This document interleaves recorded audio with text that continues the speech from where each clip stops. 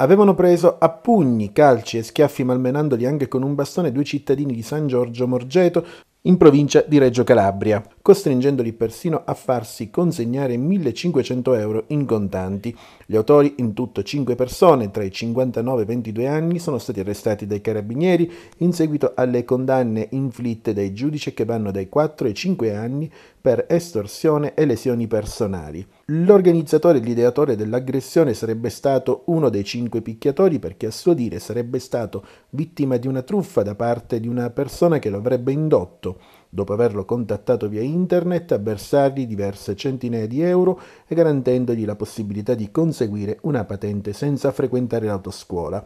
Patente che però, sempre secondo il presunto truffato, non sarebbe mai stata conseguita. Da qui la decisione della spedizione punitiva nei confronti dell'ipotetico impostore per ottenere la restituzione dei soldi e quindi la decisione, assieme ad amici e parenti, di farsi giustizia da sé.